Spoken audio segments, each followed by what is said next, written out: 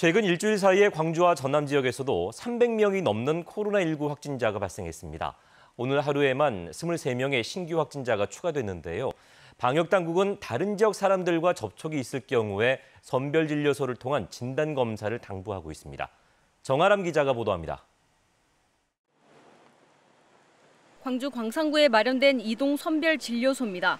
운영 첫날인 오늘 진단 검사를 하려는 발길이 끊이지 않았습니다.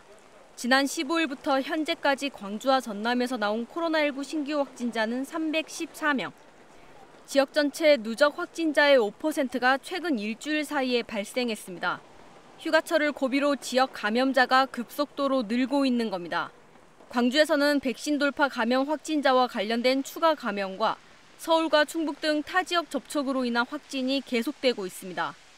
전남에서는 여수와 순천 등 동부권을 중심으로 한 산발적 감염이 잇따르는 상황입니다. 방역당국은 휴가를 다녀온 뒤 일상에 복귀하기 전 진단검사를 필수적으로 받을 것을 강조하고 있습니다.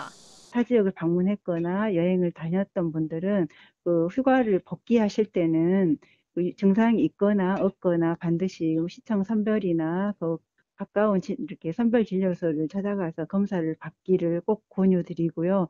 방역당국은 지역 감염자 확산 속도가 가파르게 늘고 있다며 개인 방역은 물론 연장된 사회적 거리두기 3단계 지침을 준수해 줄 것을 당부했습니다. KBS 뉴스 정아람입니다.